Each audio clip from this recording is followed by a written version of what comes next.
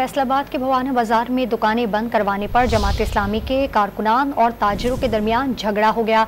मजीद जानते हैं don news के नुमाइंदे काशिफ हुसैन हमारे साथ हैं। जी काशिफ सूरत हाल कैसी है? तनाव में कुछ कमी आई है? जी, बिल्कुल, अब तो तनाव जो है मुकम्मल तौर पर कंट्रोल कर लिया गया। वैसे आप कह सकते हैं चुनाव खत्म भी हो गया, क्योंकि फैसलाबाद में जो ताजरों की जानी से हड़ताल की कॉल दी हुई थी आपसे कह सकते हैं कि वो दूसरी हड़ताल है। फैसलाबाद में अक्सर तजारती मराकज जो है, वो खुले हुए हैं।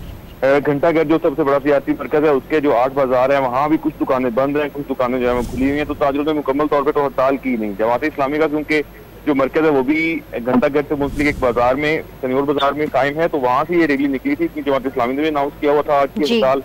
और तो क्योंकि घंटा घर के में अतराफ में जो दुकानें खुली हुई थी उन दुकानों को बंद करवाने पर जो ताजिर तंजीमें थी उनके जो दोस्त थे उनके दरमियान और जो जमात इस्लामी के रहनुमा और उनके कारकुनान उनके दरमियान हाथापाई हुई इस दौरान जो है पुलिस ने दो अफराद को हिरासत में भी ले लिया और उसके बाद ये लड़ाई झगड़ा भी खत्म हो गया था और अब जमात इस्लामी की रैली जो है वो वापस अपने मरकज पहुँच चुकी है जबकि ताजिर जो है वो कुछ दुकानें बंद करके अपनी हड़ताल जो है रजिस्टर करवा रहे हैं जबकि दीगर ताजिर जो है वो दुकानें खोल के अपना कारोबार कर रहे हैं। बहुत शुक्रिया आपका काशिफ हुसैन।